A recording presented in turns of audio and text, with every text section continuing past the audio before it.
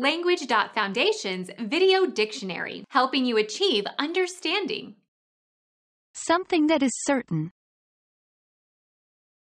Certainty, foregone conclusion.